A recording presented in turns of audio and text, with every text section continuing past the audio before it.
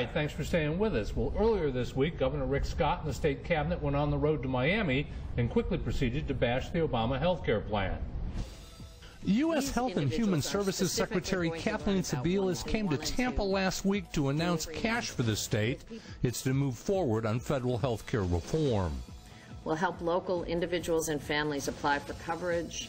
This letter from Florida Attorney General Pam Bondi and 12 other Republican attorneys general raises questions about training for the new navigators. Bondi vocalized the concerns at a state cabinet meeting Tuesday. Are they going to be fingerprinted? Are they going to get background checks? Here's why that's important. They're going to have access to your tax information. Bondi was joined by the governor who asked pointed questions of the state insurance commissioner. Do you think that you could actually train somebody to do this job in 20 hours? No. No. Progress Florida believes there are political motivations behind the criticism. They're going to face severe criminal penalties if they violate any any of people's uh, privacy. So I really think that what we're seeing here is uh, just more politics. Experts say the biggest fear of people violating your privacy isn't health navigators, but people that email you or call you on the phone asking for information. AARP says consumers need to exercise basic caution. do your own research because chances are the person who's calling asking for that sensitive information is not on the up and up. Training for navigators was cut from 30 hours to 20 in an effort to get the program up and running by October. All right, joining me now, Damien Filer from Progress Florida. Damien, thank you for being here. Thank you. Uh, As we saw on the tape piece, do you believe that the opposition to these health navigators is uh, uh, potentially political? Why do you say that? Well, I think it's a little more than potentially. It's been political uh, since long before Rick Scott was even in the in the governor's office. He has really been uh, on the national stage a leading opponent of what has now been uh, termed Obamacare. Uh, he and Pam Bondi both are, are really uh, leading opponents of. Uh, for whatever their own political motivations and reasons uh, for providing access to health care to close to 4 million Floridians who still need it today. All right, and the legislature stopped this year and, and backed away from the plan to expand Medicaid, which the governor at one time called for. Uh, do you anticipate something happens before the end of the year? What do you think the legislature may do there?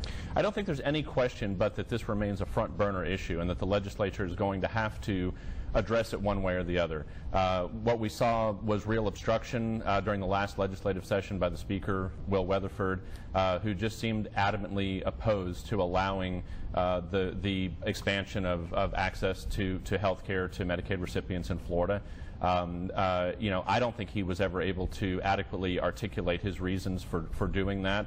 The funding is there, um, and there's overwhelming support. There were several polls done before the legislative session started uh, throughout the process that show overwhelmingly about two-thirds of Floridians strongly support that expansion of access uh, to Medicaid here in Florida. You know, one of the axioms here in the state capital is follow the money, and there's so much money, $50 billion over 10 years, so that's $5 billion that could be available to spend on health care in Florida. It seems to me the health care providers uh, who have pretty deep pockets would be pushing pretty hard. Absolutely, and I think some of them some of them are, and, and there are a little bit of some strange bedfellows going on in, in this political fight. Um, I think what we're seeing here really is, is an entrenched political extremism on the right that we haven't really seen in, in recent years here in Florida, uh, where we're just seeing uh, that they're just dug in. Um, and, and it's an issue where, as you brought up, even the governor was willing to compromise to a certain extent during this last legislative session, and it really became uh, solely the speaker who, who was standing in the way of it. Um, I, I think that uh, this issue is going to have to be revisited. And, and the plan that came out of the Senate, the Negron plan, Senator Joe Negron, who's vying to be Senate president, really did an awful lot of what the Medicaid expansion did, but they called it a Florida plan. Right, right. I think that it was important, uh, you know, for, for some in the Senate leadership to feel like they had their own brand on this plan and their own uh, spin on it. And, uh, you know, there were, th this is complicated stuff, and there are certainly some advocates for health care expansion who had uh, some concerns with what the Senate was proposing, but uh, by far it was the best proposal that was out there, and it, it would really have been a significant step in the right direction here in Florida. Now, Rick Scott, as we talked about, said did go and embrace the health care uh, Medicaid expansion, but he really spent no political capital during the legislative session to actually try and pass it. And, and then I guess now that we see the opposition of the navigators and, and that, uh, it doesn't seem like he's going to be out in front on this issue again. No, it really doesn't. And uh, you make a good point. He he came out publicly and said that before the session started that he was in favor of expansion, which caught a lot of people by surprise. Political observers weren't expecting that move. Uh, I think a lot of people read some politics into it.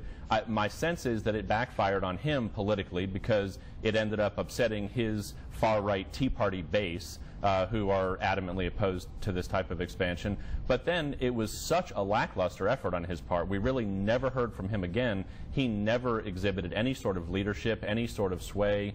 Uh, he never really made any effort during the entire legislative process to exert his will on this issue, which then made the people who were really in favor of expansion as skeptical as they've always been about, about his intentions and, and where he's coming from on on the issue of healthcare expansion. So uh, I don't know what his thinking was. I think it, like I said, politically was a, a, a bad move for him. But more important to me uh, is that it simply failed the people of Florida, who millions of whom still need access to health care. Well, and, and the point was, as soon as that story broke that he was going to support this plan, there was talk of potentially a Republican primary all of a sudden. Right, right. Well, and, and politics, of course, you know, in the legislative process uh, factors into everything. Every move that the leadership makes is, is looked at through the lens. I mean, you know, there's been talk about whether Will Weatherford is one of those people who would consider getting into a, a Republican primary for governor. Um, and others have, have come up. But, uh, you know, at the end of the day, I think um, the, the irony to me, if you look at this both in the Florida legislature and in Washington in Congress, people on both sides of the aisle, Democrats, Republicans, and independents, are sick to death of the gridlock and the and the political gamesmanship. And I really think any of these politicians would be doing themselves a favor if they actually got something done. Um, the people in Florida want to see this federal money come down. They want to see the expansion uh, of access to health care. And I think that anybody who really made meaningful strides in, in, that, uh, in that direction would actually see a political benefit from it. All right, Damien Filer, thanks so much for being here. Everyone else, stay with us. We'll be right back.